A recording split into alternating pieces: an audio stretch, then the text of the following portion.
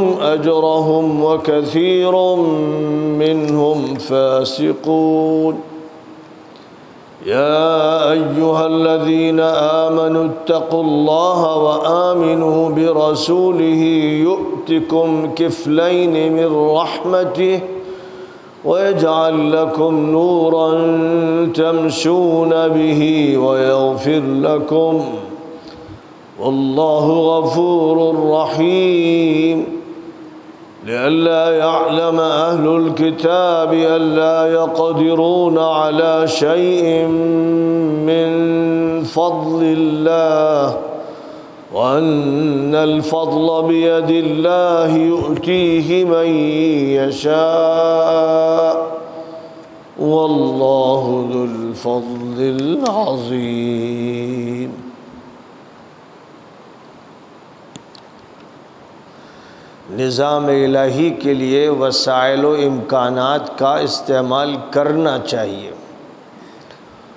हमने अपने पैगंबरों को वाज हिदायत और दलाइल के साथ मबूस किया और उनकी बेसत के साथ किताबें नाजिल की और निज़ाम आदल अता किया ताकि तुम लोग इंसाफ, ताकि तमाम लोग इंसाफ के साथ रहें। और हमने लोहा ज़मीन में उतारा जिसमें बड़ी ताकत है और लोगों के लिए बहुत से फ़ायदे हैं। सनती दुनिया के लिए वो रीढ़ की हड्डी है। और ये भी मकसद है कि अल्लाह देखे कि कौन बिन देखे उसकी और उसके रसूलों की मदद करता है। गैब पर ईमान की बुनियाद पर कौन कुफ्र की ताकतों के ज़ोर को लोहे के हथियारों के ज़ोर से तोड़ता है। बेशक अल्लाह बड़ी कुदरत रखता है और सब पर गालिब है। पैगंबरों की बेसत रहबानियत के लिए नहीं हुई।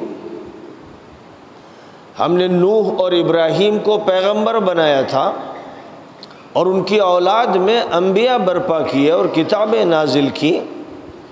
अब उनमें से वो भी हैं जो हिदायत याफ्ता हैं और ज़्यादातर निज़ाम इलाही के ख़िलाफ़ सरता भी कर रहे हैं। फिर हमने उनके नक्श कदम पर अपने और रसूलों को भेजा और उनके बाद ईसा इबन मरियम को पैगंबर बनाया और उन्हें इंजील अता की और उनके पैरोकारों में हमने शफ़क़त व मोहब्बत, नरमी और रहम दिली रखी। और रहबानियत की, उन्होंने जिद्दत की, वो हमने उन पर आयद नहीं की थी। सिवाय इसके कि वो अल्लाह की रज़ा और खुशनूदी हासिल करें। हुआ ये कि वो इसका लिहाज नहीं कर सके और रहबानियत के नाम से तर्क दुनिया और बेजा मुजाहदात उन्होंने ख़ुद ईजाद कर लिए। उनमें ईमान वालों को हम अजर से नवाजेंगे और उनमें भी अक्सर हक से दूर और तकवा से महरूम है। तकवे का अहतमाम करने की हिदायत। ए ईमान वालो, अल्लाह से डरो, तकवा इख्तियार करो और उसके रसूल को मानो।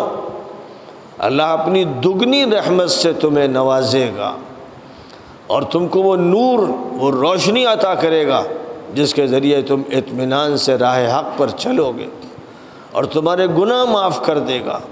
और अल्लाह बहुत मगफ़रत फरमाने वाला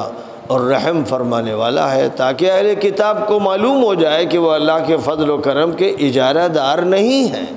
और फ़ज़ल इनायत अल्लाह के हाथ में है, जिसको चाहे आता फरमाए और अल्लाह बड़ा फ़ज़ल करम फरमाने वाला है। सूरतुल हदीद की ये आखिरी आयतें पढ़ी गईं।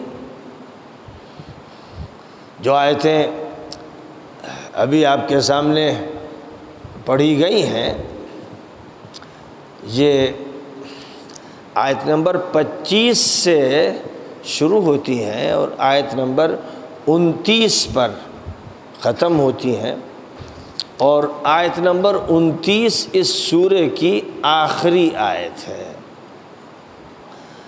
अब इस सूर्य की जो ये आयतें हैं, इनमें अल्लाह ताला ने क्या क्या इरशाद फरमाया है?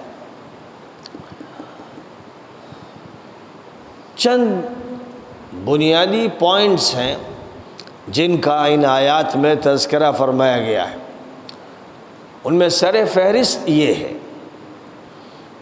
अल्लाह का ये कहना है कि हमने इंसानों के दरमियान अपने जो पैगंबर भेजे, जो नबी भेजे, जो रहबर उनके दरमियान बर्पा किए इनको हमने दो चीज़ों से नवाजा था। एक तो हमने उनको लोगों के दरमियान पैगंबर बनाया तो उनकी पैगंबरी के दलाइल भी दिए। उनकी पैगंबरी के सबूत के लिए हमने उनको ऐसे मोजात दिए, ऐसे मेरेकल्स दिए, ऐसी ताकतें अपनी तरफ़ से अता की कि लोगों के सामने ये बात बिल्कुल मुदल्ल हो जाए कि इनको अल्लाह की मदद मिल रही है और जो कुछ ये पेश कर रहे हैं वो अल्लाह की तरफ़ से पेश कर रहे हैं। ये महज अपने सोच और अपने तखयल और अपने किसी नज़रिए की बुनियाद पर बात नहीं कर रहे हैं। ये कोई ऐसे रिफॉर्मर नहीं है कि कौम के हालात देख कर इनमें एक जज्बा पैदा हुआ और ये लोगों के दरमियान इसलाह की बात करने लगे, पैगंबरों का ये मामला नहीं होता है। पैगंबर उस तरह के मुसले या उस तरह के कौमी रहनुमा या सियासी लीडर नहीं होते हैं कि जो लोगों से ये कहते हैं कि मैं आपकी असलाह चाहता हूँ, मैं आपका सुधार चाहता हूँ, मैं आपकी तरक्की चाहता हूँ। ज़ाहिर है कि जो भी कौम में रहबर बनकर सामने आते हैं और ख़ास तौर पर जो सियासी लीडर होते हैं, वो तो ये बात समझाना चाहते हैं कि आपकी मफाद की खातिर मैं अपना वक्त लगा रहा हूँ। मैं चाहता हूँ कि मैं आपकी तरक्की का काम करूँ। मैं आपके फलाह और बहबूद के लिए मेहनत करूँ। इस तरह की बात कही जाती है उसमें कोई वाकई कौमी रहबर हो सकता है और कोई ऐसा भी हो सकता है जो मुद्दई लेकिन पैगंबर का यह मामला बिल्कुल नहीं होता। पैगंबर महज अपनी फ़िक्र की बुनियाद पर या कौम के हालात की वजह से लोगों के दरमियान और कौम के दरमियान खड़ा नहीं होता है। वो हो सकता है कि एक अरसे तक कुड़ता हो, बेचैन रहता हो, उसके समझ में ना आता हो कि मैं क्या करूँ। लेकिन अपनी तजवीज़ से कोई फार्मूला ना वो पेश करता है, ना कोई मंसूबा लेके आगे बढ़ता है। वो तो वो होता है जिसको अल्लाह सिलेक्ट करता, अल्लाह जिसका इंतखब करता है। यानी ख़ुद उसे नहीं मालूम होता है कि मेरा इंतखब होने वाला है। उसे ही नहीं मालूम होता कि उसे प्रॉफिट बनाया जाएगा मैसेंजर बनाया जाएगा, उसको पैगंबर बनाया जाएगा। उसे ये मालूम नहीं होता है। वो तो अपनी फ़िक्र में रहता है, अपने अल्लाह से लो लगाता है और हालात पर कोड़ता है। और अल्लाह की तरफ़ से जब ये फ़ैसला होता है कि अब इसको बहसीत नबी के और पैगंबर के मंतखब कर लेना है तो उसकी तरफ़ से जब्राईल अमीन जो फ़रिश्तों के सरदार हैं, वो तशरीफ़ लाते हैं। किसी भी शक्ल में वो आते हैं और वो उनसे मिलते हैं और उनको बताते हैं कि अल्लाह ने इस कायनात के मालिक ने आपका इंतखब किया है। आपको नबी बनाया गया। या कभी ऐसा भी होता है, जैसे हज़रत मूसा सलाम के साथ हुआ कि जजीर नुमा सीना में आग की तलाश में बढ़ते चले जा रहे थे, दूर से रोशनियाँ नज़र आईं, समझे कि शायद यहाँ कोई काफ़िला ठहरा हुआ है, इनके पास से मुझे कोई चिंगारी अंगारा मिल जाएगा, ले आऊँगा। बढ़ते बढ़ते देखते क्या है कि अनवार की जैसे एक दरख्त पर बारिश हो रही। अब वो तो हैरान थे बिल्कुल। और अचानक जब उनकी, उस जगह पर, जब उस जगह पर उनका दाखला हुआ अपनी चप्पलों के साथ तो उनके कान में जो आवाज़ आई अखला नालक इन कबिलवादिलमुक़दस तुआ। चप्पल उतारो। तुम तुआ की मुक़दस वादी में आ गए हो। अब ये एक ऐसी आवाज़ थी जो नई थी, कभी उन्होंने सुनी नहीं थी। और ये आवाज़ ही सिर्फ़ नहीं थी, इस आवाज़ ने उनके पूरे वजूद को हिला के रख दिया और सर से पैर तक उनके अंदर ये बात दाखिल कर दी कि ये तो खुदाई आवाज़ है। यानी वो यकीन भी साथ साथ उनके अंदर दाखिल कर दिया गया और ये फरमाया गया, वान अख्तर तुख फस्तम यूहा। मैंने तुम्हें सिलेक्ट कर लिया है। मैंने तुम्हारा इंतखब कर लिया है। अब जो मैं तुमसे कह रहा हूँ, जो मैसेज दे रहा हूँ, गौर से सुनो। फिर उसके बाद वो किस्सा है जो कुरान पाक की बहुत सी सूरतों में बयान किया गया हज़रत मूसा सलाम का कि उनको कैसे नबूत मिली। तो ये एक ऐसा वाक़ है जिसमें जब्राईल अमीन आकर मिले नहीं, बल्कि वो तो आग की तलाश में जा रहे थे और दरख्त पर अनवार की जो झलकियाँ थीं, वहाँ से उनको ये आवाज़ सुनाई दी और ये उनको बता दिया गया कि तुम्हारा इंतखब किया गया है और तुम्हारी जो ये छड़ी है, तुम इसको ज़रा डालो और डाला तो सांप बन गई, कहा कि इसको पकड़ो और डरे, कहा कि डरो नहीं। उसको पकड़ो, जब पकड़ा था वो लाठी बन गई फरमाया कि ये है एक मिराकिल एक मोजा है जो मैं तुम्हें दे रहा हूँ। ये निशानी है कि मैंने तुम्हें पैगंबर बनाया है। और उसके बाद फिर ये फरमाया कि अपने दाएँ हाथ को ज़रा गरेबान में डालते हुए अपने बाई बगल की तरफ़ ले जाओ और निकालो। निकाला तो वो चमक रहा था, जैसे किरणें फूट रही हो। फरमाया, ये दूसरी निशानी है। ये दो ये दूसरी निशानी है। दो निशानियाँ दे रहा हूँ उनको लेकर। अब तुमको इस मिस्र जाना है और फ़िरौन के पास जाकर दावत पेश करना है। बताना है कि अल्लाह एक है। वो है जो आसमान और ज़मीन का मालिक है और तुम किसी के रब नहीं हो। तुम एक मुल्क की हुकूमत ज़रूर अपने पास रखते हो। लेकिन तुम्हारे जो दावे हैं कि मैं रब हूँ, वो मैं खुदा हूँ, ये सब झूठे हैं और गलत हैं। ये बात तुम्हें जाके पहुँचानी। तो एक बात तो यह है कि अल्लाह ताला अपने पैगंबरों को मोजात देता है।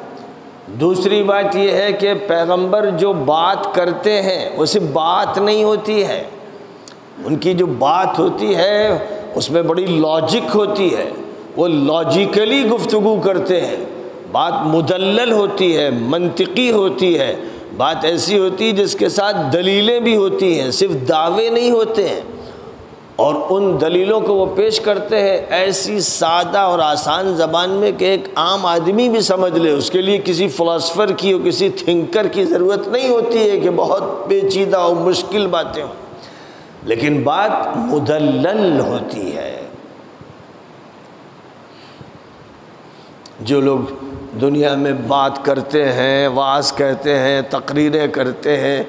बेशुमार ऐसे लोग होते हैं जो दावे भगाड़ते हैं, जो चाहता है बोलते हैं। आवाम बिल्कुल ऐसे कि जैसे उनके पास न दिमाग है, न समझने की सलाहियत है, बैठे रहते हैं। बैठे रहते हैं कि भाई तकरीर हो रही। मसला इसका नहीं होता कि वो दलील तलाश करें।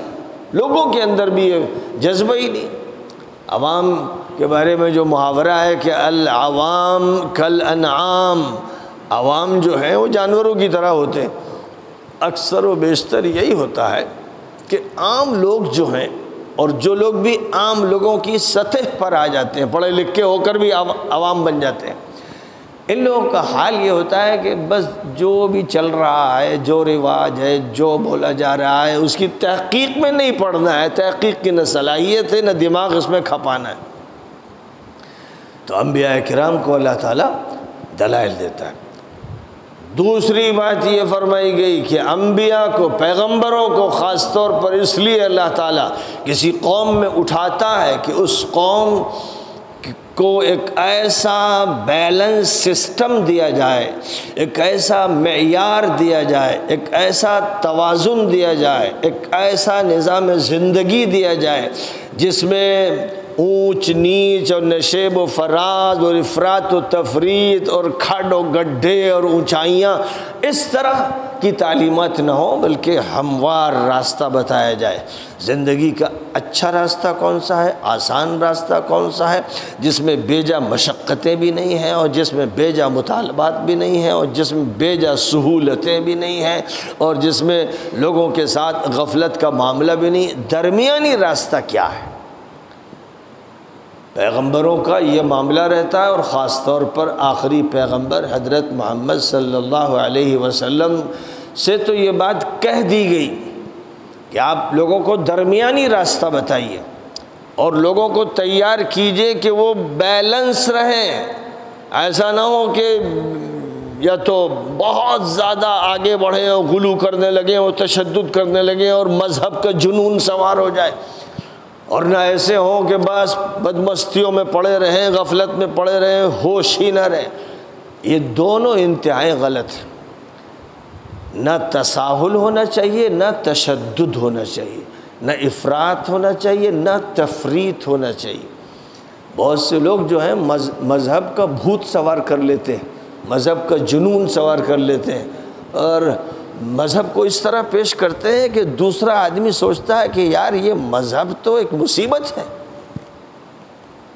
कुरान ये कहता है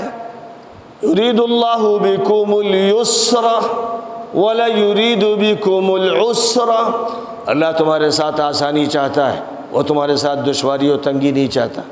रमज़ानमबारक के रोज़े फ़र्ज़ किए गए और जब कुरान पाक में सूरतुल्बक़रा में रोज़ों की रमज़ान में फ़र्जियत का तस्करा फरमाया गया तो साथ साथ ये आयत भी नाजिल फरमाई गई कि ये मत समझना कि रोज़े हमने तुम पर फ़र्ज़ किए हैं कि मुसीबत में पड़ो और भूखे रहो और तकलीफ़ उठाओ। हरगिज़ हरगिज़ ने इसमें तुम्हारी तरबियत है, इसमें तुम्हारा तस्किया है। तुम ये रोज़े सही तरीक़े पर कायदे के मुताबिक रखोगे तो तुम मुतकी बनोगे, तुम परहेजगार बनोगे, तुम ख़ुद अपने लिए खैर तलाश करोगे। फ़ायदा तुम्हें पहुँचने वाला है, अल्लाह को तुमसे कुछ नहीं चाहिए। और नबी सल्लल्लाहु अलैहि वसल्लम की मशहूर हदीस है इन दीन युसरुन। दीन बहुत आसान है। वलन युशादीन अहदन गलब जो दीन से खींचा तानी करता है, फिर वो खुद ही टूट जाता है, शिकस्त खा जाता है। तो दीन इसलिए नहीं है कि आप दीन से खींचतान करें, दीन से कुश्ती लड़ें। दीन इसलिए नहीं दीन को अल्लाह ताला ने बनाया है इस तरह जैसे इंसान की नेचर बनाई है, फितरी है दीन। जैसे आप साँसें ले रहे हैं, सांस हवा जा रही है ऑक्सीजन आप ले रहे हैं और फिर जो पोल्यूटेड एयर है बाहर निकाल रहे हैं और ये इतना ऑटोमेटिकली हो रहा है, इसमें इसी में आपको सहूलत है। और अगर ज़रा से भी घुटन हो तो आप परेशान हो जाएँगे। तो ये जो फितरी अमल है तबई अमल है कि सांसों की तरह या पानी पी रहे हैं और पानी गदला नहीं है, ख़राब नहीं अच्छा साफ़ सुथरा शफाफ पानी है तो उस पानी को पीने में एक राहत महसूस हो रही है और रगें तर हो रही हैं। जिस तरह ये है इसी तरह दीन है।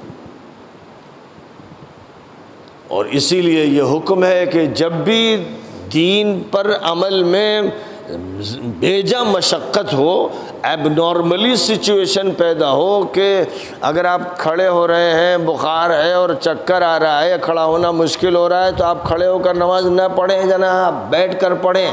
अब अगर आप पर बड़ा गलबा, कुछ भी हो जाए, मैं तो खड़े होकर पढ़ूँगा। तो ये आपकी जहालत है, जानवर पना है, ये दीनदारी नहीं है। हजूर अक्रम सल्लल्लाहु अलैहि ने एक सफ़र में देखा कि एक साहब ज़मीन पर पड़े हुए हैं और भीड़ लगी हुई हजूर पहुँचे वहाँ कि भाई क्या किस्सा है?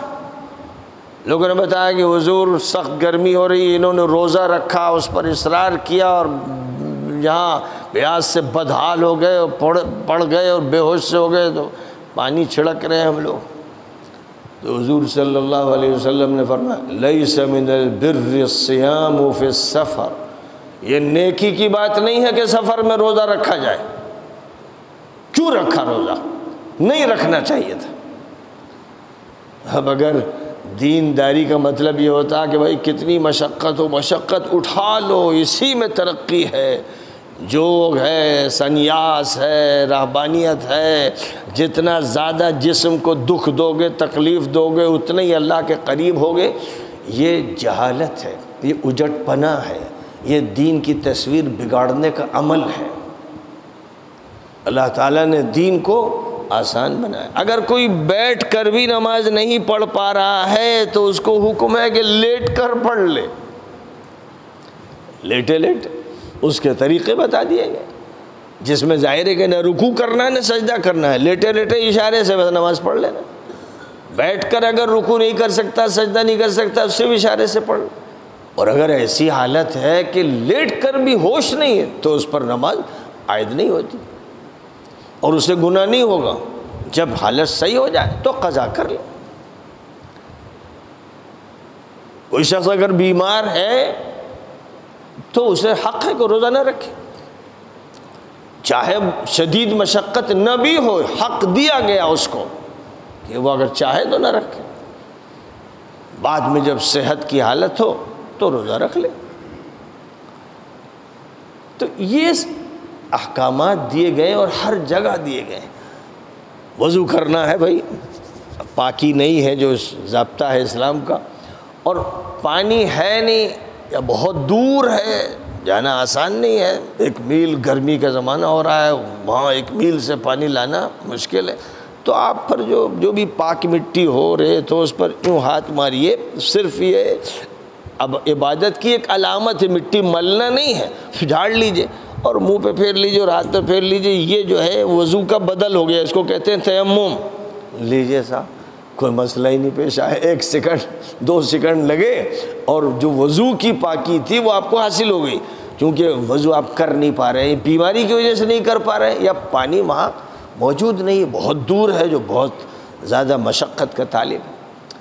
तो ये नहीं होगा कि अपने खाने के लिए तो दस मील चला जाता है, एक मील से पानी नहीं लाएगा तो। इस्लाम ये डांट नहीं डाल ये डांट का मुखातब नहीं कर रहा है। बल्कि वो अगर एक शख्स देख रहा है कि गर्मी में सहराई जगह है, एक मील तक जाकर वो थक जाएगा, वो बहुत मुश्किल है उसके लिए तो वो वज़ू न करके तयम कर ले।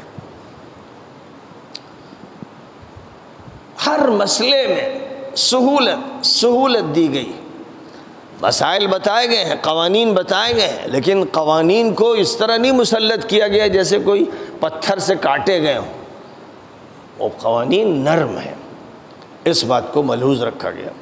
तो बहरहाल, एक बात ये कि अल्लाह ताला ने पैगंबरों को भेजा तो उनको दलीलें दी मोजात दी और साथ ही साथ एक बैलेंस सिस्टम दिया तोज़ुन अता किया। और जिसमें सबसे ज़्यादा जिस चीज़ की ज़रूरत है और जिस चीज़ पर बुनियाद है इस्लाम की, वह इंसाफ इंसाफ, अदल इंसाफ। जुल्म नहीं हो सकता किसी पर। कोई जुल्म करके कहे, मैं मुसलमान हूँ। और इस पर वो फ़ख्र करे। किसी को मार दिया, वो शख्स जो है, ये कह रहा था, वो नबी की शान में गुस्ताखी कर रहा था, उसे मार दिया, वो इस्लाम को बुरा कह रहा था, उसे मार दिया। ये सब जहालत की बातें हैं। ये गुंडागर्दी है ये। किसी ने इसकी इजाज़त नहीं दी कहीं नबी ने ये नहीं फरमाया कि मुझे कोई गाली दे दे तो तुम इसे कत्ल कर दो। कहीं नहीं। मक्का मुकर्रमा में रोज़ाना सैकड़ों गालियाँ हुजूर को दी जाती थी। हुजूर उनको दुआएँ देते थे और पत्थर की जगह फूल बरसाते थे। ये जो मुल्लाओं ने बहुत से मसले पैदा कर लिए हैं और जिनकी वजह से फिर तूफ़ान खड़े होते हैं कि पाकिस्तान में श्रीलंका के एक आदमी को मार दिया गया कि इसने कुरान की बेहरमती की, ये गुंडागर्दों का अमल है। और अब तो ये मालूम हुआ कि केस चलते चलते जो जो उस श्रीलंकन को मारने वाले थे छः छः सात मुसलमान थे बड़े जोश में। वो नबी की ताइद में मारने वाले थे। उन सब की सज़ा का फ़ैसला हो गया। अब उनकी मौत की सज़ा दी जाएगी। सही बात। है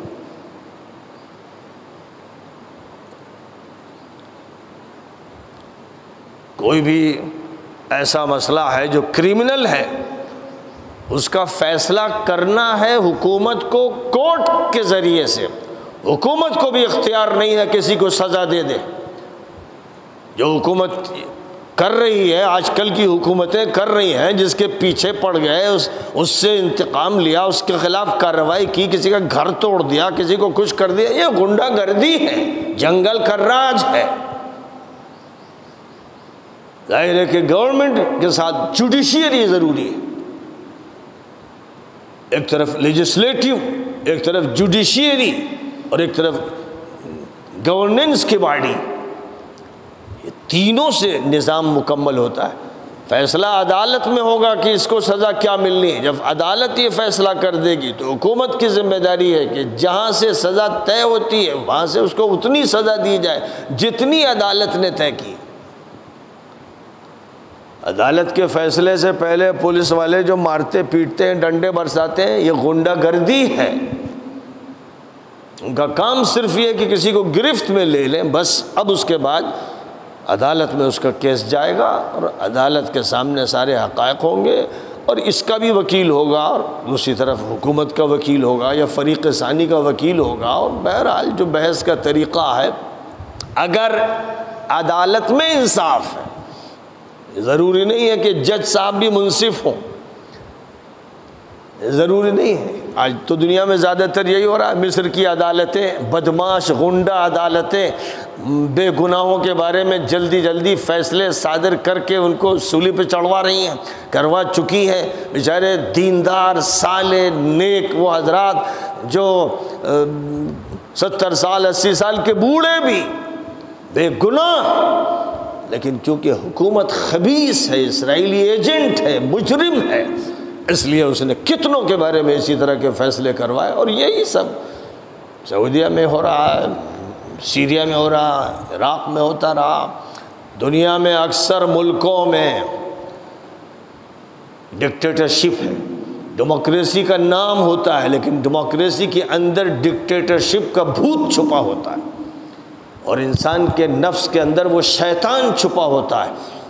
जिसके शैतानी जज्बात ही ऐसे हैं कि वो इंसानों से इंतकाम चाहता है। इसलिए फरमाया गया कि अल्लाह ताला ने अपने दीन में इंसाफ इंसाफ को लाजमी करार दिया है। तो कोई जुल्म नहीं कर सकता, कोई भाई भाई पर नहीं कर सकता, कोई बड़ा छोटे पे नहीं कर सकता, कोई छोटा बड़े पे नहीं कर सकता, कोई बुज़ुर्ग किसी खुर्द पे नहीं कर सकता। ये नहीं कि किसी को हुकूक हासिल है, वो जो चाहे करे। बहुत से लोग इस तरह समझाते हैं, दीन को पेश करते हैं कि भाई देखिए, शौहर को हक दिया गया है कि वो बीवी को मारे। ये जाहिलाना बातें हैं। उझटपना है ये। बिल्कुल इस्लाम ने यह हक नहीं दिया है। जैसे किसी की ऐसी हरकत हो, किसी की ऐसी हरकत हो कि इंसाफ का ये तकाजा हो कि उसे मार, मारा जाए, वो मार भी उतनी जितनी इंसाफ के तकाजे से हो। जैसे एक उस्ताद कभी तालिब इल्म को एक धप रसीद कर देता है, कभी किसी वक्त कमची भी लगा देता है। जैसे ये एक अमल तरबियती और इसलाई होता है, अगर फ़र्ज़ कीजिए कि वो औरत जो आपके ताबे है, वो कोई ऐसी हरकत कर बैठी है कि जिस पर उसको छड़ी लगाई जा सकती है, मसलन या हाथ मारा जा सकता है। उसी तरह जैसे उस्ताद तालब इल्म को मारता है, अगर ऐसी पोजीशन है, इंसाफ के तकाजे से, अदल के तकाजे से, और जो हुकूक दिए गए हैं औरतों को, मर्दों को, उनके मुताबिक तो इजाज़त है। उस बुनियाद पर कि मर्द को ज़िम्मेदार घर का मुतन किया गया। अब कोई ऐसी बुरी हरकत की गई है कि जिस पर एक तंबी ज़रूरी है और वो तंबी भी हदूद के अंदर नबी पाक सलाम ने उन लोगों से अरबों में जो बद्दू थे उजट थे, जाहिल थे, ज़िद्दी थे, शिद्दत पसंद थे, उनको तो बहुत रोकना पड़ता था। फरमाया कि औरतों को मारा न करो। कभी कोई ऐसी बात पेश आ जाए कि जिस पर तादीब करना हो तो चेहरे पर मत मारना। यानी जिसम के किसी हिस्से पर फ़र्ज़ कीजिए, किसी मिसवाक से एक हल्के से मार दिया। ज़ाहिर के औरत को तो हल्के से मारना भी उसकी नफसियात के लिए सख्त तरीन सदमा थी बात। किसी शरीफ ख़ानदान की औरत तो अगर एक मरतबा भी मार दिया जाएगा तो उस घर में रहेगी नहीं वो। लेकिन जो ख़ानदान इसी तरह के होते हैं, ऐसे ही पलते बढ़ते हैं, मार खाते हैं, खिलाते हैं, ऐसे बहुत से होते हैं, घटिया सतह के लोग। तो उनको इजाज़त भी दी गई तो ये कह कर के बड़ी पाबंदियाँ, इंसाफ के ख़िलाफ़ ना होने पाए। ये सब चीज़ें हैं तो कुरान की वो आयत जिसमें इदरीबू हन्ना है, औरतों को मारने की इजाज़त दी गई, ये पूरा एक पस मंज़र है। उस पस मंज़र के बग़ैर अगर उस आयत का तर्जुमा कर दिया जाए तो फिर मालूम होगा कि ये तो उजट पना सिखाया जा रहा है। और इसी वजह से दूसरों को मौका मिलता है कि वो इस्लाम पर एतराज़ करते हैं कि जो इस्लाम की शरह करता है, वो खुद ही बुद्धू होता है। वो खुद ही सही बात नहीं कहता। जो बात जिस तरह कही गई है, उस तरह उसको बताना है और समझाना है। तो बहरहाल एक पॉइंट ये हुआ। दूसरा पॉइंट जो यहीं पर आया कि जो अल्लाह ताला दीन अता फरमाता है, वो इसलिए होता है कि उसको बर्पा किया जाए, किसी मुल्क में उस कानून को जारी किया जाए, जो डिवाइन लॉ है, अल्लाह के कानून को चलाया जाए। अल्लाह ने जो अपनी किताब में सिस्टम दिया है, उस सिस्टम को नाफिज किया जाए। तो अब ज़ाहिर है कि इसको नाफिज करने के लिए ज़रूरत जोगियों, सन्यासियों की और सूफियों की नहीं है। इसके लिए ज़रूरी है कि साहब लेजिस्लेटिव भी हो, और जुडिशियरी भी हो, और गवर्नमेंट भी हो मैनेजमेंट भी हो। और जब मैनेजमेंट होगा तो मैनेजमेंट के लिए पुलिस भी होगी और फौज भी होगी और जेलें भी होंगी। ये सब कुछ होगा क्योंकि इसके बगैर कोई भी इंसानी सोसाइटी कभी दुनिया में नहीं रही, कभी ही नहीं रही। लिहाजा इसका मतलब ये हुआ कि फिर ताकत भी ज़रूरी है। ताकत एक आदमी के लिए नहीं कि एक आदमी ताकत आजमाई शुरू कर दे गवर्नमेंट के लिए ताकत ज़रूरी है। और एक मसला ये होता है कि कभी तो हमें सिर्फ़ एग्जीक्यूट कराना है कानून को तो उसमें तो ज़रूरत इसकी है, न इसकी है कि साहब तलवार चलाई जाए, ना बंदूक चलाई जाए, वहाँ तो कानून की पाबंदियों को सही तौर पर नाफिज करना चाहिए। उसमें उसमें अगर कहीं ज़रूरत पड़ेगी इसकी कि उस ज़रब लगाई जाए तो वो भी अमल किया जाएगा। लेकिन बाहर की कोई फौज किसी मुल्क पर हमला आवर हो सकती। इंसानों का हाल ये है कि वो चैन से बैठते नहीं, एक मुल्क दूसरे मुल्क पे चढ़ाई करता है, एक कौम दूसरी कौम पे करती है, एक कबीला दूसरे कबीले पे करता है। दुनिया में ये होता रहा, आज भी हो रहा है। इसलिए ज़रूरी है कि हर मुल्क के पास हथियार और हथियार में बुनियादी जो फैक्टर है, जो बुनियादी मरकज़ी ताकत है, वो है लोहे में। इसलिए यहाँ इस सूर्य का नाम है लोहा, लोहे की सूर्य। और इसी वजह से कि यहाँ ये फरमाया जा रहा है कि भाई सिर्फ़ मीठे मीठे बोलों से दुनिया चलती नहीं है जनाब। और महज नसीहतों से कोई निज़ाम कायम नहीं होता है। निज़ाम को कायम करने के लिए, किसी गवर्नमेंट को वजूद में लाने के लिए फिर ज़रूरी होता है कि आपके पास पुलिस भी हो और आपके पास इंस्पेक्टर भी हो और आपके पास कलेक्टर भी हो और आपके पास कमांडर भी हो। यानी मुख्तलिफ़ डिपार्टमेंट्स के लोग हों। और साथ ही साथ ये मालूम रहे कि हमारी बॉर्डर पर सिक्योरिटी फोर्स भी मौजूद रहे और उस सिक्योरिटी फोर्स को तैयार करने का भी एक का, काम है उसको पढ़ाना भी है उसको ट्रेनिंग भी देना है और उसके बाद बॉर्डर पर उसको तैनात रखना है कि कहीं बाहर से किसी वक्त भी किसी के दिमाग में खन्नास पैदा हो और वो मुल्क में घुसता चला जाए और हमारे लोगों को तबाह कर दे। इसलिए मज़बूत मजबूती के साथ मुकाबला करना है तो उसके लिए पुरान पाक में यहाँ ख़ास तौर पर लोहे का ज़िक्र किया गया, जिसका ये मतलब नहीं कि दीगर धातें काबिल ज़िक्र नहीं है। तांबा भी चाहिए कहीं अलमुनियम भी चाहिए, और पीतल भी चाहिए, और होते होते आखिरी दर्जे की जो चीज़ें होती हैं न्यूक्लियाई पावर के लिए जो कुछ ज़रूरी चीज़ें वो भी चाहिए। अगर ज़रूरत है न्यूक्लियाई पावर की, कि किसी ने धमकियाँ दे रखी हैं कि साहब हम न्यूक्लियाई बम मार देंगे तो फिर दूसरे के पास अगर नहीं होगा तो उसे तो फिर शिकस्त होनी ही होनी है। लिहाजा इब्तदा होती है लोहे से, एक एक तलवार से, एक भाले से, एक नेज़े से, एक बंदूक तक पहुँचे, बंदूक से तोप तक पहुँचे तोप से फिर मिसाइल और रॉकेट तक पहुँचे। और इन सब में बुनियादी किरदार लोहे का है। लिहाजा यहाँ उसका तस्करा हो साथ ही साथ लोहे का इस्तेमाल इतना ज़बरदस्त है कि कोई बिल्डिंग बनाना है तो लोहा चाहिए और आपको सामान के लिए प्याली और प्लेट से लेकर, डिशों से लेकर और टंकियों से तक और कितनी चीज़ों तक लोहा चाहिए। अक्सर अब तो बहुत सी और चीज़ें भी आ गई हैं। प्लास्टिक पहले था नहीं, फाइबर ग्लास पहले था नहीं, बहुत सी ऐसी चीज़ें जो पहले थी ही नहीं। कोई आदमी सोचता ही नहीं था कि ये कुर्सी जो है ये फाइबर ग्लास से बन जाएगी और या प्लास्टिक से कोई चीज़ बन जाएगी। तो बात जो होती थी वो ये कि तो लोहे से बनेगी या लकड़ी से बनेगी या और किसी दाज से बन सकती। तो उस मौके पर मकसद ये है कि जिन चीज़ों से लोगों का फ़ायदा हो, जो सामान घर के लिए ज़रूरी है, तामीर घर की घर की तामीर के लिए ज़रूरी है, घर के फ़र्श फरूश के लिए ज़रूरी है, पलंग के लिए ज़रूरी है, आपकी बैठक के लिए ज़रूरी है, और आपके जो खाने के बर्तन हैं, उनके लिए ज़रूरी है, जितनी भी चीज़ें हैं, आप, आपके जो चमचे और आपके कांटे होते हैं, प्लेट और चमचे और कांटे और प्याली और तश्तरी सब में लोहे का ज़बरदस्त इस्तेमाल रहा है, चला आ रहा है, आज भी चला आ रहा तो उसका यहाँ तस्करा फरमाया गया। और ख़ास तौर पर इस पस मंज़र में कि जब एक अम्बियाई निज़ाम, एक रब्बानी निज़ाम, एक डिवाइन लॉ और डिवाइन सिस्टम बर्पा किया जाएगा तो उसकी हिफाजत के लिए आपको हथियारों की ज़रूरत पड़ेगी।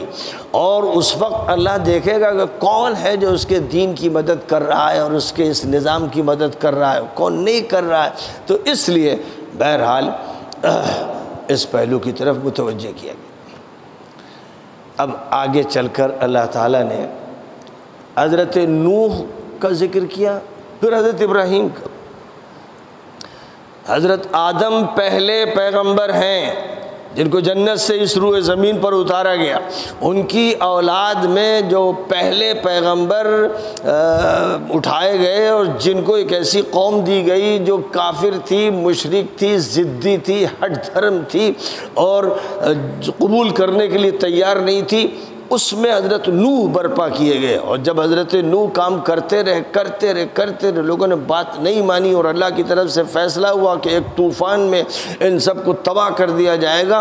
तो उन्हें जब तबाह कर दिया गया तो वही सिर्फ़ बचे जो हज़रत नूह की कश्ती में सवार थे। इसलिए हज़रत नूह पूरी दुनिया के लिए आदम सानी है। दूसरे आदम है। गोया हज़रत आदम से जो सिलसिला इंसानी आबादी का चला वो ख़त्म कर दिया गया था, तबाह कर दिया गया था। अब दोबारा जो सिलसिला चला, वो हज़रत नू उनकी औलाद और उनके साथ जो ईमान वाले लोग थे, उनसे दुनिया में फिर आबादी फैलना शुरू हुई। इसलिए हज़रत नूह जो हैं, वो नंबर दो पर आदम की हैसियत रखते हैं और जो सिलसिला है ख़ास तौर पर मुखालफाना माहौल में काम का, उसमें हज़रत नू सर फहरिस्त है। आदम जब उतरे तो कोई मुखालिफ नहीं था ज़मीन पर उनका। उनकी औलाद हुई तो उनकी औलाद बहरहाल उनके ताबे थी, उनके मज़हब पर थी। लेकिन हज़रत नूह के सामने जो लोग थे, वो बड़े कट्टे दुश्मन थे। और फिर एक तवील अरसे के बाद हज़रत इब्राहीम इराक़ में उठे जब नबरूद की हुकूमत थी और वो भी अपने वक्त का ख़तरनाक फ़िरौन था और हज़रत इब्राहीम को जो माहौल मिला, वो तो बुतों की, मूर्तियों की, पूजा पाठ और अल्लाह के साथ दूसरों को शरीक करने का अमल, सितारों की पूजा हो रही, सूरज की पूजा हो रही, चाँद की पूजा हो रही और चीज़ों की पूजा हो रही, एक ऐसा माहौल मिला, जबकि उनकी घुट्टी में ये बात पड़ी थी कि अल्लाह एक है, ईश्वर एक है, लॉर्ड एक है और हमें सिर्फ़ उसकी इबादत करना तो उन्होंने अपनी कौम के लोगों को मुखातब करना शुरू किया और धीरे धीरे वो सारे हालात पेश आए, जिनका तस्करा कुरान पाक में मुख्तलिफ़ मकाम पर फरमाया गया। फरमाया गया, हमने नू को भेजा, इब्राहीम को भेजा, उनकी औलाद में हमने नबूत के सिलसिले को जारी रखा और किताबें भी हम अता करते रहे।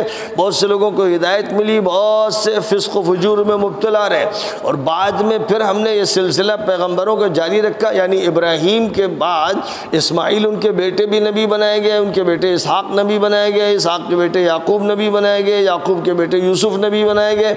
और उनके अलावा, इनके अलावा जो इनकी औलाद में बरह रास्त नहीं थे, फासले से थे, उनको अल्लाह ताला ने नबी बनाया शुएब को नबी बनाया गया, जो हज़रत इब्राहिम ही के एक बेटे मदियन की औलाद में थे और लूत को बनाया गया, जो हज़रत इब्राहीम के भतीजे होते थे। और इसी तरह पूरी दुनिया में कोई जगह ऐसी नहीं थी जहाँ इंसानों की आबादी हो और वहाँ अल्लाह ने कोई हादी कोई रहबर, कोई रिफॉर्मर, कोई नबी, कोई पैगंबर न भेजा हो। फरमाया, ये सिलसिला चलता रहा चलता रहा। यहाँ तक कि मरियम के बेटे ईसा को हमने पैगंबर बनाया।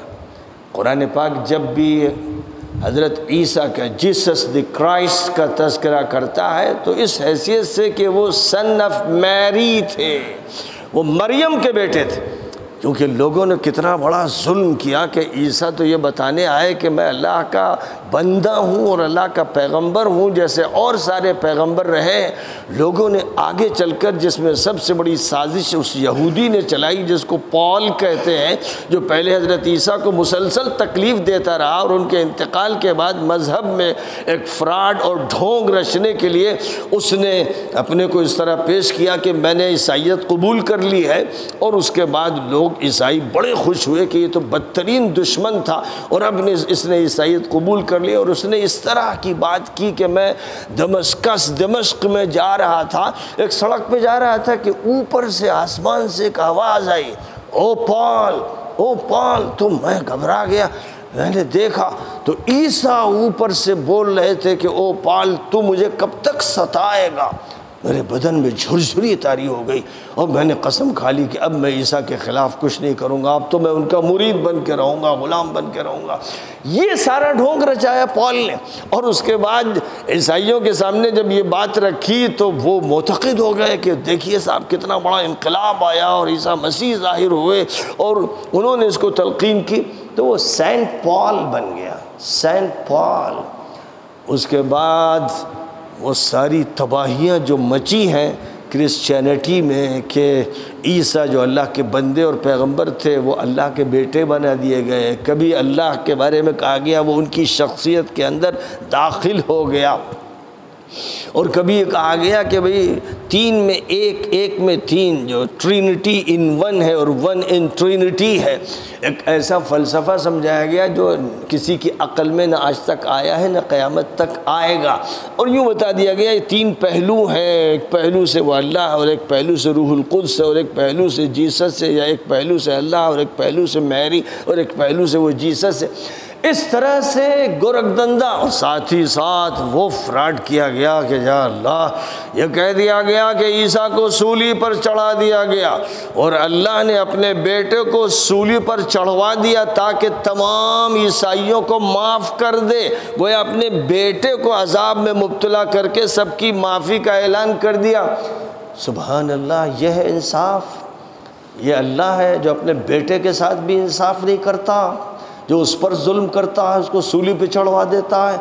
और फिर ये दिखाया गया कि सूली पर भी चढ़ाया गया और कीलें जिसम में ठोक दी गई। हाथ में कीलें ठोक दी गई, पैर में कीलें ठोक दी गई। ये वो जुल्म था जो रोमन एम्पायर में ईसा मसीह पर किया गया। और ये सब क्यों किया गया? वो अल्लाह जो है इतना बेदस्तो पा है कि अपने अपने नबी नहीं, बेटे के साथ ये सब कुछ करवाया। क्यों करवाया? ताकि उनकी कौम को माफ़ कर दे। क्या वो बग़ैर इसके माफ़ नहीं कर सकता था? हैं, जिसको बेटा, लाडला बेटा बनाया, उसमें कीले ठुकवा दी, उसके जिस्म के साथ ये जुल्म किया। तो अदल तो ख़त्म हो गया, इंसाफ तो ख़त्म हो गया। पहले इस दिन ये मालूम हुआ कि भाई कोई भी किसी के साथ कुछ मामला करे तो किसी को सज़ा दे दे। इंसाफ का कत्ल पैगंबर भेजे गए अदल के लिए और इंसाफ के लिए। और यहाँ इंसाफ के कत्ल पे क्रिश्चियनिटी की बुनियाद रखी जा रही। है और ज़ाहिर है कि जब ये बात कह दी गई तो अब सलीब सलीब सलीब जो है वो खुद पूजा के लिए हो गई। ज़्यादा अब सलीब को सजाया जाए, उसको गले पे लटकाया जाए, क्योंकि मुक़द्दस है। एक फ्रॉड मुक़द्दस हो गया, एक झूठ मुक़द्दस हो गया, एक जुल्म मुक़द्दस हो गया, एक अलामत मुक़द्दस हो गई। कैसे हो गई? ये कौन सा निज़ाम है? क्या यहाँ मानवता नहीं है? क्या ह्यूमैनिटी ख़त्म हो गई? तो बहरहाल, ये सारा fraud saint Paul saint Paul की तरफ़ से, सेंट जो है इन्वर्टेड कॉमर्स में है, क्योंकि वो सेंट नहीं था। और सिर्फ़ ये नहीं किया, आगे बढ़ते हुए उसने सुअर जैसे गंदे, नापाक जानवर को जिसके, जिस्म के अंदर ऐसे जरासीम होते हैं जो इंसान की सेहत के लिए मुजिर होते हैं। बाकायदा ये बात मेडिकली साबित हो चुकी है, प्रूव हो चुकी है कि जिस जिस जानवर का गोश्त इंसान की सेहत के लिए मुजिर है, वो खंजीर है, नजिस भी है, गंदगियाँ खाता है। अब अल्लाह की तरफ़ से उसको हराम किया गया, तौरात में उसको हराम करार दिया गया, कुरान में हराम करार दिया गया, तमाम मजहबी किताबों में हराम करार दिया गया। लेकिन क्योंकि एक फ्रॉड किया गया हज़रत ईसा सलाम की कौम के साथ जो बेचारे ईसाई थे, सादा लोग थे, नेक लोग थे, नरम दिल लोग थे, उनको बेवकूफ़ बनाया गया। और मेरा ये तजिया है, तजर्बा भी है कि यूरोप, यूरोपियन कंट्रीज़ के लोग बड़े सादा मिजाज हैं, बड़े नरम लोग हैं, फितरतन बड़े अच्छे लोग हैं। उनको बिगाड़ा है, उनके, इन्हीं पादरियों ने और उनके बड़े ज़िम्मेदारों ने और उनके हुक्मरानों ने उनको तबाह किया है। वरना आज भी कहीं जुल्म, दुनिया में कहीं जुल्म होता है तो वो जुल्म के ख़िलाफ़ निकल खड़े होते हैं। जब सद्दाम के ख़िलाफ़ इराक़ में कार्रवाई अमरीकन फ़ौजों ने की तो अमरीका की सड़कों पर, बरतानिया के सड़कों पर लाखों ईसाई एहतजाज के लिए निकल आए। इसी तरह जहाँ भी दुनिया में कभी जुल्म हुआ तो लाखों ईसाइयों ने बाहर निकल कर उसके ख़िलाफ़ एहतजाज किया कि यह जुल्म हो रहा है, नहीं होना चाहिए। तो ये बात अल्लाह ताला ने क्रिश्चियंस में रखी है और ख़ास तौर पर यूरोपियन कंट्रीज़ के लोग फितरतन अच्छे हैं। लेकिन जो फितरतन अच्छा और नेक होता है, उसी पर मक्कार और शातिर और ख़तरनाक लोग अपने तजुर्बे करते हैं। और उसी का इस्तेमाल आसानी से हो जाता है, क्योंकि जो खुद शातिर है, उसका इस्तेमाल तो आसान होता नहीं। तो ईसा जो हैं वो मरियम के बेटे हैं, अल्लाह के बंदे हैं। अब उनके बारे में जो फ्रॉड किए गए, उनमें से एक एक ये किया गया, सुअर हरा, हलाल हो गया, जो हराम था। और जो शर्त है, किसी जानवर को ज़बह करने की, यहूदियों के यहाँ भी है, मुसलमानों के यहाँ भी है, कि वो बग़ैर ज़बिया के नहीं खाते, मुसलमान भी नहीं खाते, यहूदी भी नहीं खाते, ईसाइयों के यहाँ उसे भी हलाल कर दिया गया, मुर्दा खाओ, ज़बिया खाओ, कुछ भी खाओ, सब दुरुस्त। फिर इसी के साथ साथ पानी की तरह शराब को हलाल कर दिया गया। और हज़रत ईसा की यादगार में जो तकरीब मनाई जाती है, उस तकरीब में रोटी के साथ जो खाना है, बताया गया कि ये ईसा मसीह का खून है। और तुम इसमें जब रोटी खाओगे तो तुम्हारे जिस्म में ईसा मसीह के खून के असरात पहुँच जाएँगे, यानी तुम मुकद्दस हो जाओगे। कोई इंतहा होती है फ्राड की और झूठ की? ईसा मसीह दुनिया से तो आसमान पर उठा लिए गए, यही हमारा अकीदा है यही सच्ची बात है, उनको सूली पर किसी ने नहीं चढ़ाया। कोई चढ़ा नहीं सका, कोशिश की गई, उनके खिलाफ मुकदमा दायर किया गया, उनको देश देशद्रोही साबित किया गया और रोमन एम्पायर जो मुशरक एम्पायर थी, उसने उनके ख़िलाफ़ केस भी दर्ज भी कर लिया, फ़ैसला भी कर दिया, लेकिन अल्लाह ताला ने भीड़ के बीच में से उनको ऊपर उठा लिया, जिसको कुरान पाक ने पूरी सफ़ाई से बयान कर दिया कि वमा कतलू हो वमा सलबू, वलाकिन शुभ अलम न वो सूली दे सके, ना वो कत्ल कर सके, बल्कि ख़ुद इज्तबा में और शक शुबे में पड़ गए और अल्लाह ने उनको ऊपर उठा लिया। तो अब क्या क्या फ्राड किया गया? पूरी ईसाइत तबाह कर दी गई। और सिर्फ़ ये नहीं किया गया, बल्कि अब जो है, जब सूली और उसकी तकलीफ़ें ईसा को दी और अल्लाह ने दी, अपने बेटे को दी, जिसका मतलब ये हुआ कि ये जो तकलीफ़ें हैं, इन्हीं से अल्लाह तक, लौट तक कोई पहुँचता है।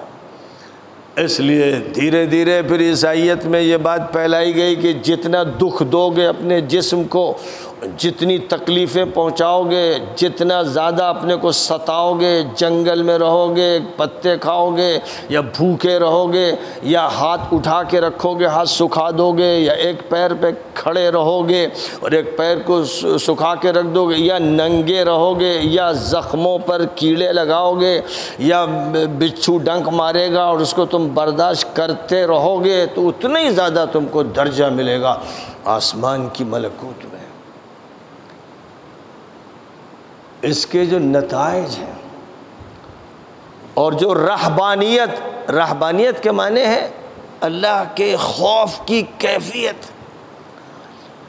यही चीज़ है जिसको हिंदू मत में, सनातन धर्म में जो फ्रैडी थे उन्होंने चलाया, वो योगी सन्यासी बने, कोई जंगल में जा रहा है, कोई आधा धड़ ज़मीन में दफन किए हुए कोई सूख रहा है, कोई नंग धुड़ंग बिल्कुल ऐसे ही मादरजात फिर रहा है, और कोई क्या और कोई क्या कर रहा है, किसी की लटें हैं, गंदी कभी नहाता नहीं है, और कभी इजाबत के लिए वो पानी इस्तेमाल नहीं करता है और कोई जंगलों में ही नहीं, बल्कि कब्रस्तानों में शमशान घाट में रहता है, और जो मुर्दों की राख है, वो अपने पूरे बदन पर मलता है, और शैतानों के साथ वो अपनी सोहबत रखता है।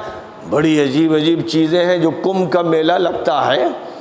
कुंभ का मेला वहाँ जाकर देख लीजिए इंसानों की दुर्गत को कैसे कैसे सन्यासी पेश किए जाते हैं। नंग थोड़ंग किस्म के, कैसी लटों वाले, कैसे नापाक, कैसे बदबूदार, कैसे अजीब वजूद के जिनको देख कर रोंगटे खड़े हो जाए। इंसान की नेचर और फितरत पर जुल्म करने वाले ये लोग हैं, ये मज़हब है। इसीलिए फरमाया कि इस्लाम बैलेंस सिस्टम है। वहाँ ये सब ये सब फ्रॉड नहीं है। और तकलीफ़ देकर कोई किसी की इबादत तरक्की करती है, सब धोखा है, फ्रॉड है।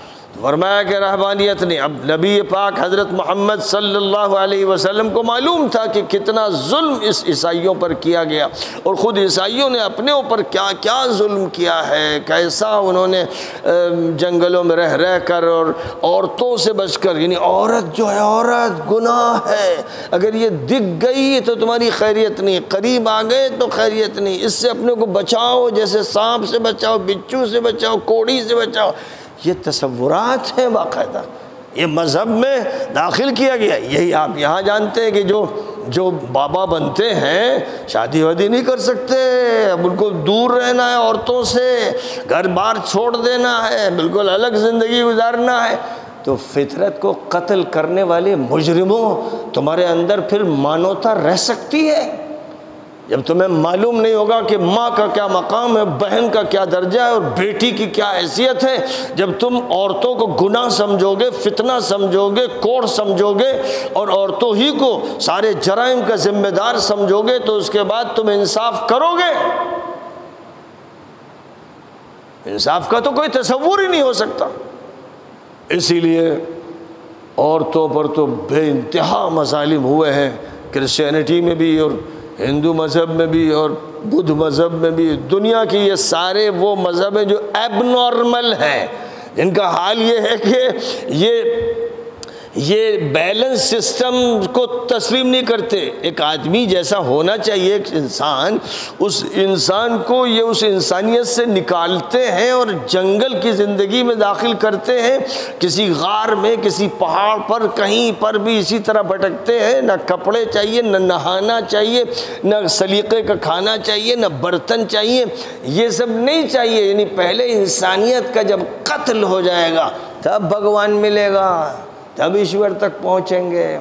यही उधर समझा दिया गया। अब, आपके सामने सिर्फ़ चंद वाक़ात जो रहबानियत थे कि जब नबी ने फरमाया, ला रहबानियत फिल इस्लाम। इस्लाम में रहबानियत नहीं, योग नहीं, सन्यास नहीं। इस्लाम ये नहीं कहता कि जाओ जंगलों में रहो। इस्लाम ये नहीं कहता कि नंग धुड़ंग रहो। इस्लाम ये नहीं कहता कि औरतों को छोड़ दो, उनसे दूर रहो। इस्लाम ये कहता है कि शादी करो और घर को अच्छी तरह बसाओ, अपनी औरत की इज़्ज़त करो, उसको घर की मलका बनाओ, तुम बाहर के काम काज करो, आपस में काम को तकसीम कर लो, फिर उसके बाद अल्लाह बच्चे दे, उनकी अच्छी तरबियत करो अच्छा नाम रखो अच्छी तालीम दो, अच्छी ज़िंदगी गुजरवाओ, उनके लिए मेहनत करो, कमा के लाओ अच्छा खिलाओ। ये तालीमत है, जो फितरत के आयन मुताबिक है, ये तालीमत दी जा रही अब आप गौर फरमाइए कि साहब, एक तरफ़ ये तालीमत हैं और एक तरफ़ एक तरफ़ ज़रा गौर फरमा लिए ताकि मालूम हो जाए कि क्रिश्चियनिटी पर कितना जुल्म किया। उफ ओ इंतहा कर दी गई। जो हिस्ट्री ऑफ़ क्रिश्चियनिटी है इंसाइक्लोपीडिया ब्रिटानिका उठा लीजिए, या वो वो इंसाइक्लोपीडिया जिसका क्रिश्चन से ताल्लुक़ है, उसको उठा लीजिए तो आप देखेंगे कि जिसम को अजियत पहुँचाने को इबादत समझा गया, सबसे आला दर्जे का वो आदमी है जो जितना ज़्यादा अपने को तकलीफ़ दे। अब उसके लिए जो नए नए तरीक़े ईजाद किए गए, मसलन इसकंदरिया का सेंट मकारियोस हर वक्त अपने जिस्म पर 80 पाउंड का बोझ उठाए रखता था। छः महीने तक वो एक दलदल में सोता रहा और जहरीली मक्खियाँ उसके बरहना जिस्म को काटती रहीं। उसके मुरीद सेंट यूसी बियोस ने पीर से भी बढ़कर रियाजत की। वो 150 पाउंड का बोझ उठाए फिरता था और तीन साल तक एक खुश्क कुएँ में पड़ा रहा। सेंट सोबियो सिर्फ़ मकई खाता था, जो महीने भर पानी में भीग कर बदबूदार हो जाती थी। सेंट बेसोरियन चालीस दिन तक खानादार झाड़ियों में पड़ा रहा और चालीस साल तक उसने ज़मीन को पीठ नहीं लगाई। सेंट पखुमियोस ने पंद्रह साल और एक रिवायत के मुताबिक पचास साल ज़मीन को पीठ लगा, लगाए बगैर गुजार दिया। एक वली सेंट जॉन तीन साल तक इबादत में खड़ा रहा। इस पूरी मुद्दत में वो न कभी बैठा, न लेटा। आराम के लिए बस एक चटान का सहारा ले लेता था और उसकी गज़ा सिर्फ़ वो तबर्रुक था जो हर इतवार को उसके लिए लाया जाता था। सेंट सीमियन स्टाइलाइट जो तीन सौ नब्बे से चार सौ उनचास के ज़माने का है, ये ईसाइयों के दरमियान बहुत बड़ा वली शुमार किया जाता था। हर ईस्टर से पहले पूरे चालीस दिन फाका करता था। एक दफ़ा वो पूरे एक साल तक एक टांग पे खड़ा रहा। बसा अवकात वो अपनी खानका से निकल कर एक कुएँ में जाकर रहता था। आखिरकार उसने शिमाल शाम के किले सीमान के करीब साठ फिट बलंद, साठ फिट बलंद एक सुतून बनवाया, जिसका जो ऊपर का हिस्सा था उसके तीन तीन फिट के घेर में वो रहता था। ऊपर कटहरा बना दिया गया था। इस सुतून पर उसने पूरे तीस साल गुजार दिए। धूप, बारिश और सर्दी, गर्मी, हर दौर में वो इसी सुतून के ऊपर छोटे से तीन फिट की जगह में रहता था और कभी सुतून से उतरता नहीं था। उसके मुरू, उसके जो मुरीद थे, वो सीढ़ी लगाकर उसको खाना पहुंचाते और उसकी जो गंदगी होती है, वो वहीं पर जो पैखाना वगैरह कर देता, उसे साफ़ करते थे। फिर उसने एक रस्सी लेकर अपने आप को इस सुतून से बाँध लिया। यहाँ तक कि रस्सी उसके गोश्त में, नंगा जिसम उसके गोश्त में रस्सी पेवस्त हो गई और गोश्त सड़ गया और उसमें कीड़े पड़ गए। जब कोई कीड़ा उसके फोड़ों से गिरता तो वो उसे उठाकर फिर फोड़े ही में रख लेता था। और कहता था, जो कुछ खुदा के लिए, खुदा ने तुझे दिया है, ले भाई, तू ले उसको। मसीही अवाम दूर दूर से उसकी ज़ियारत के लिए आते थे। जब वो मरा तो मसीही अवाम का फ़ैसला यह था कि वो ईसाई वली की बेहतरीन मिसाल था। ये एक सूरत हाल ये। नंबर दो ये कि उनकी दूसरी खसूसियत ये थी कि वह हर वक्त गंदे रहते और सफ़ाई से सख्त परहेज़ करते थे। नहाना, जिस्म को पानी लगाना उनके नज़दीक खुदा परस्ती के ख़िलाफ़ था। जिस्म की सफ़ाई को वो रूह की नजासत समझते थे। सेंट एथोनियोस बड़ी अकीदत के साथ सेंट एंथोनी की ये खूबी बयान करता है कि उसने मरते दम तक कभी अपने पाँव नहीं धोए। सेंट अब्राहम जब से दाखिल मसीहत हुआ, पूरे पचास साल उसने न मुँह धोया, न पाँव। एक मशहूर राहबा, कुंवारी सिल्विया ने उम्र भर अपनी उंगलियों के सिवा जिस्म के किसी हिस्से को पानी नहीं लगने दिया। एक और कानोनेट की 130 राहबात की तारीफ़ में लिखा हुआ है कि उन्होंने कभी अपने पाँव नहीं धोए और गसल का नाम तो सुनकर उनके बदन पर लर्जा चढ़ जाता था।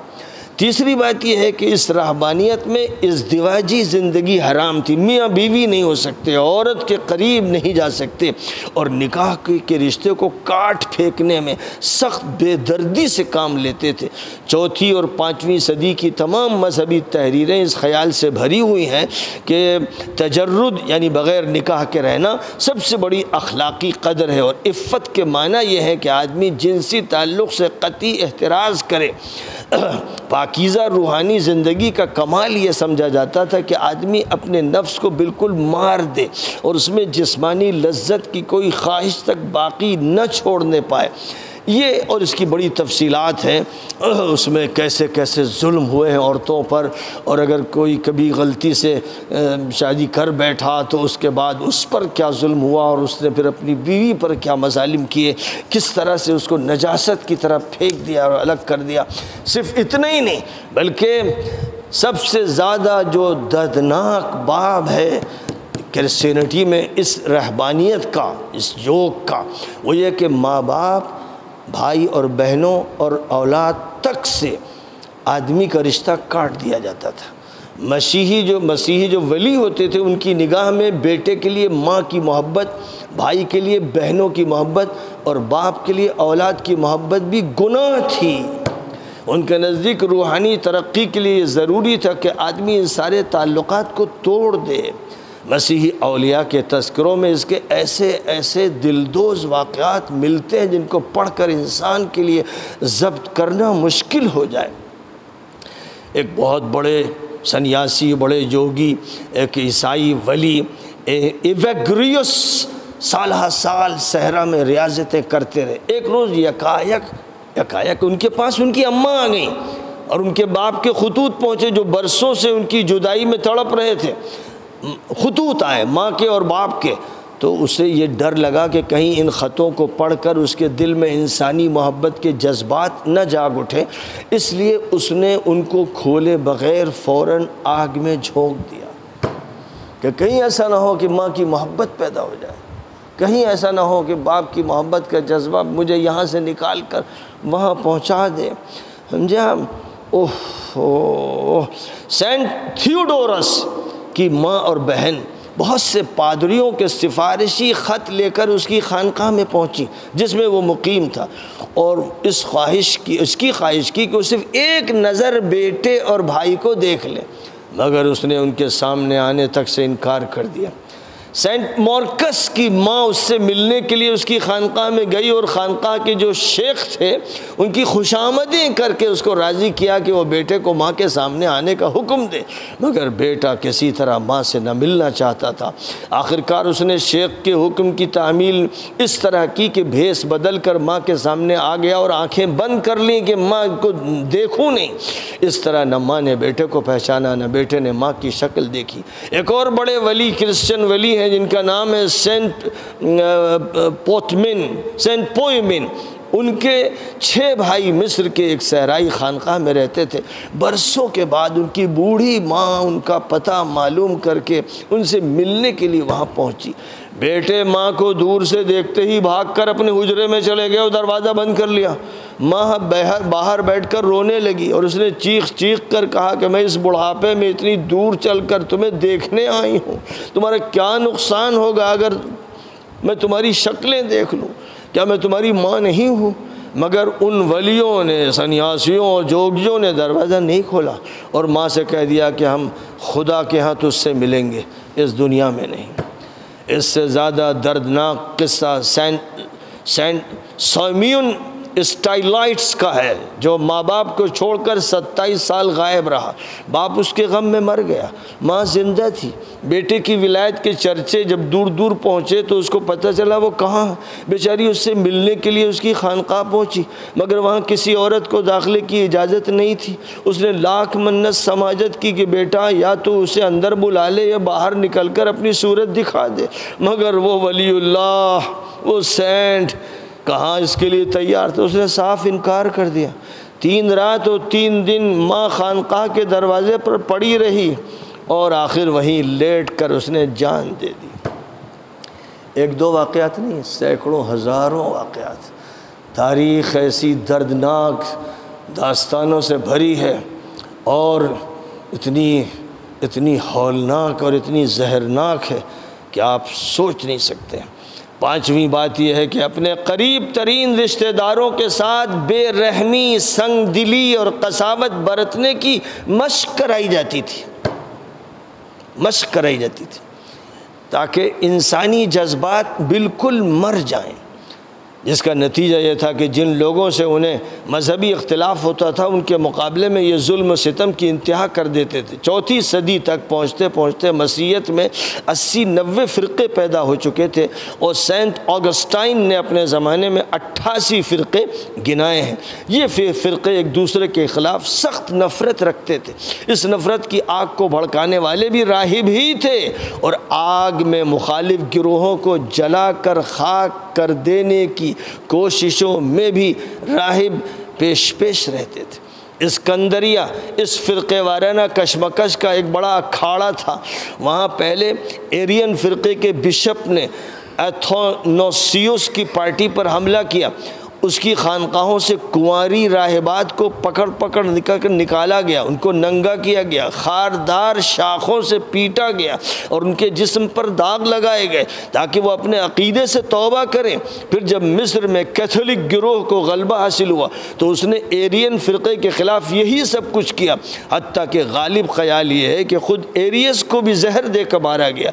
इसी इसकंदरिया में एक मरतबा सेंट सॉयर के मुरीद राहिबों ने हंगाम अजीम बर्पा किया। यहाँ तक कि मुखालिफ फ़िरक़े की एक राहिबा को पकड़ कर अपने कलीसा में ले गए, उसे कत्ल किया। उसकी लाश की बोटी बोटी नोच डाली और फिर उसे आग में झोंक दिया। बहरहाल ये तारीख़ इतनी भयानक है जिसकी कोई इंतहा नहीं। अब जो लोग इनसे मुतासर हुए या उस तरह के सन्यासियों और योगियों से मुतासर हुए, हमारे यहाँ जो जाहिल जपट किस्म के सूफ़ी पैदा हुए, उन्होंने भी अजीब अजीब हरकतें की। कभी चिल्लाए, माकूस हो रहा है, पैर ऊपर लटका लिए, सर नीचा है नीचे है, कभी कुएँ में लटके हैं और उसमें उसमें इबादत हो रही है। और कभी कांटों के साथ खेल रहे हैं और कभी भूखे रह रहे हैं। ये सब हमारे उन जाहिल सूफियों ने भी किया, जो इन्हीं योगियों से मुतासर हो गए। और इसी तरह जो फ़िरक़ वारियत की जहन्नम भड़काई गई, वो इसी तरह उन ालिम मुजरम, ख़ताकार मुसलमानों ने भी भड़काई, जिन्होंने आपस में लड़ाइयाँ लड़ी। कभी सुन्नी और शिया और कभी शिया और सुन्नी, कभी बरेली और देवबंदी, और कभी एक फ़िरका और दूसरा फ़िरका, और उस पर हर तरह का जुल्म रवा रखा। अभी करीब में अभी करीब में एक बुरका पोश लड़की, दीनदार जो मदरसे की उस्तानी थी, उसको तीन चार लड़कियों ने जो मदरसे में पढ़ाती थी, चाकू से ज़बह किया। एक मदरसे के गेट के सामने पाकिस्तान में चाकू से जैसे बकरा ज़बह किया जाता है, वैसे ज़बह कर दिया। वो तड़प तड़प के जान देने पर मजबूर हो गई, कोई सुनने वाला नहीं था। बाद में ये बात कही गई कि उनमें से एक लड़की ने ख्वाब देखा कि नबी पाक सलाम कह रहे हैं कि ये औरत, ये लड़की बददीन है और गोया नबी की शान में गुस्ताखी की मरतकब हुई है, इसको ज़बह कर दो। तो ये झूठा दावा किया गया मक्काराना नबी की ज़ात बरी, आपने अपनी ज़िंदगी में सबूत दिया कि अपने दुश्मनों को माफ़ किया और आपने ख़ुद तो अपने हाथ से किसी पर तलवार चलाई ही नहीं, जंगों में भी नहीं चलाई। और बाकी मक्का मुकरमा फ़तेह किया तो सारे मुजरमों को माफ़ फरमाया। नबी की ये सुन्नत है और यही पूरी पूरी सीरत आपकी है। आपके नाम पर आपके नाम पर गुस्ताखी कर दी, कोई कहता, साहबा की गुस्ताखी कर दी। ये हुडे अवबाश, इस उम्मत के बदमाश और मुजरिम कथाकार हैं, जो उम्मत में नफ़रत फैलाते हैं, जो उम्मत में आग लगाते हैं, जो उम्मत को तोड़ते हैं। जो नबी के चमन की की एक एक शाख काट देते हैं। नबी ने जोड़ा था सबको। नबी ने कुफर कुफर से और शिर से निकाला था। नबी ने जहन्नम से बचाया था। जन्नत का इंतज़ाम किया था और सबको एक साथ रखा था। आज जो इस्लाम का नाम लेकर, अकीदे का नाम लेकर, और ये कि साहब इसने ये कर दिया, उसने ये कर दिया, जो चढ़ जाते हैं और वारदात करते हैं। श्रीलंका के जिस जवान के साथ पाकिस्तान में हुआ, सबसे ज़्यादा ये पाकिस्तान के मुजरिम और गुंडे करते हैं। और दुनिया में इस तरह के गुंडे और भी हैं बहुत सी जगहों पर, जो लाकानूनीत का जंगल बर बना देते हैं। और हिंदुस्तान में भी पच्चीस हज़ार फसादात उन्नीस सौ सैंतालीस के बाद से हो चुके हैं। जमशेदपुर हो या रावण किला हो या भागलपुर हो या मुरादाबाद हो या मेरठ हो या बम्बई हो या गुजरात हो। इंसानों को जिस तरह यहाँ के भेड़ियों ने, दरिंदों ने काटा है, भेड़िए तो कुछ नहीं मुकाबले में। गाजर मूली की तरह लाखों इंसानों को यहाँ फेंका गया है। और जब मुल्क तकसीम हुआ था, हिंदुस्तान, पाकिस्तान अलग अलग हुए तो तीस लाख इंसानों को ज़बा किया था। इन्हीं कातिलों और मुजरिमों ने।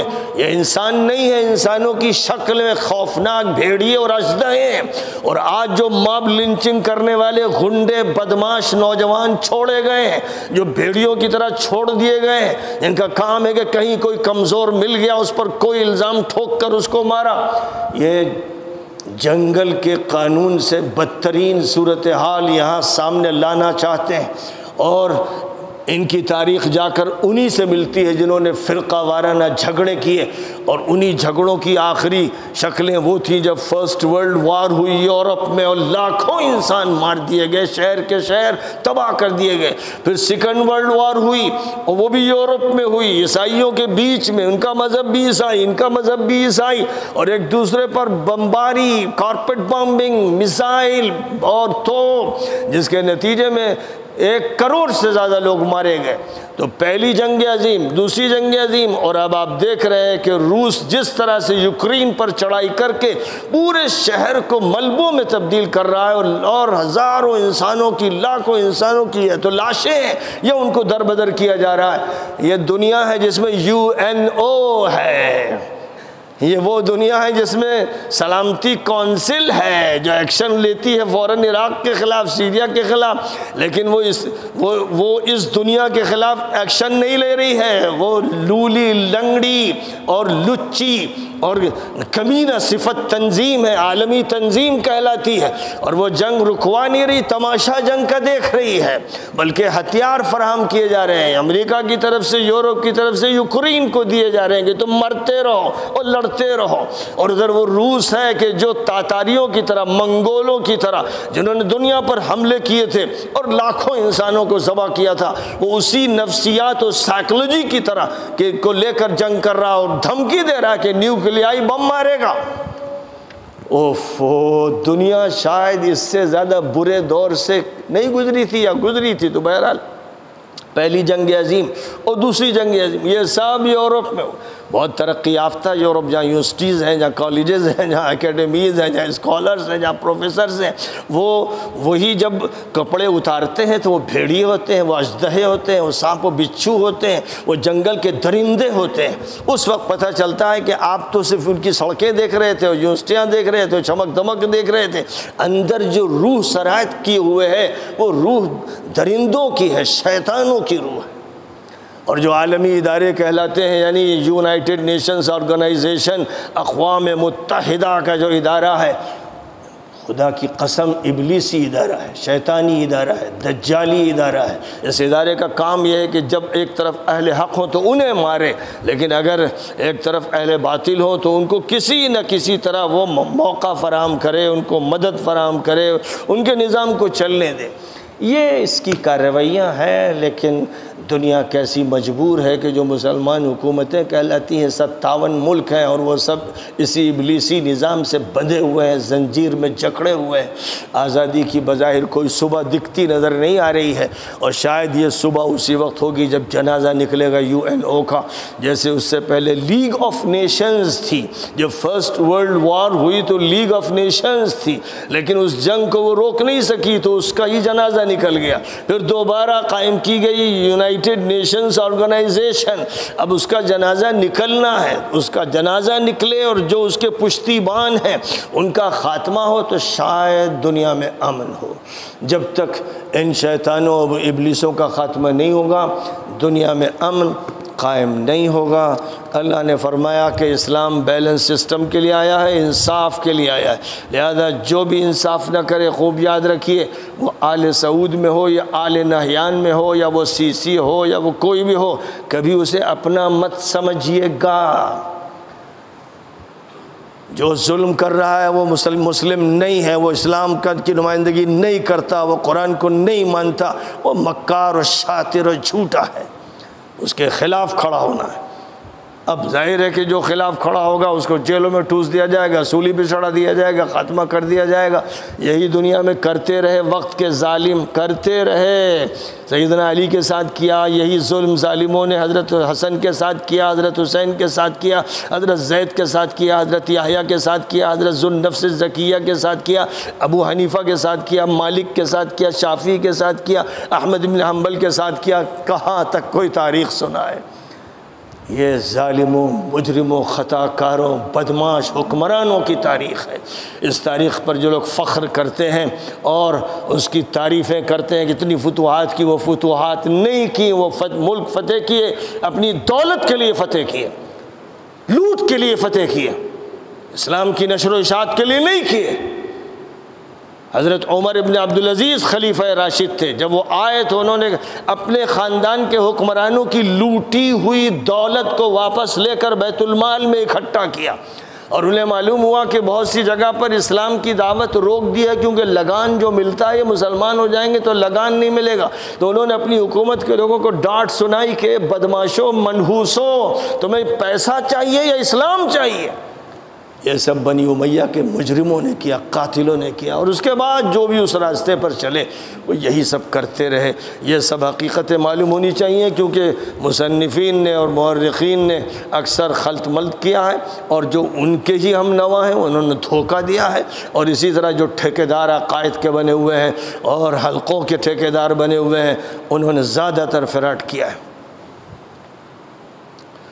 बस आखिरी बात यह है, ईमान वालों, अल्लाह से डरो। नबी को सही तौर पर मानो। अगर तुम ईसाई थे, यहूदी थे और फिर मुसलमान हो गए तो अल्लाह तुमको बढ़ा चढ़ा कर अजर अता फरमाएगा। तुमने एक मज़हब छोड़ा जिसको समझा तुमने कि वहाँ हक़ नहीं अदा हो रहा है, वहाँ गलत बयानी हो रही है और दिल के सुकून का इंतज़ाम नहीं है। हक़ पहचाना और अल्लाह के इस दीन को, जिस दीन को सिर्फ़ मुसलमानों की शक्लों से नहीं समझना है, इस कुरान मुबीन से समझना है और नबी पाक आसमाम की सीरत से और हदीस से समझना है। फरमाया कि, ए लोगो, तुम अगर अल्लाह के रसूल को, आखिरी रसूल को मानोगे, जब से इससे पहले तुम कुछ भी थे तो अल्लाह तुमको दोहरा तेरह चौरा अजर देगा और तुम्हें नूर अता फरमाएगा, एक ऐसी रोशनी देगा जिसमें तुम ज़िंदगी का सफ़र करोगे, तुम्हारे सारे गुनाह अल्लाह माफ़ कर देगा। और ये मालूम हो जाना चाहिए, अहल किताब को, यहूदियों को भी, ईसाइयों को भी, और दुनिया के दीगर लोगों को,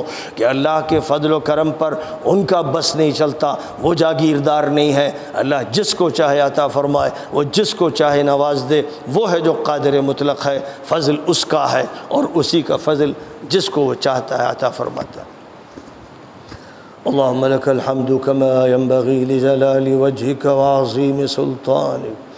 अल्लाहुम्म सल्लि अला मुहम्मद व अला आलि मुहम्मद कमा सल्लैत अला इब्राहीम व अला आलि इब्राहीम इन्नका हमीदुम मजीद।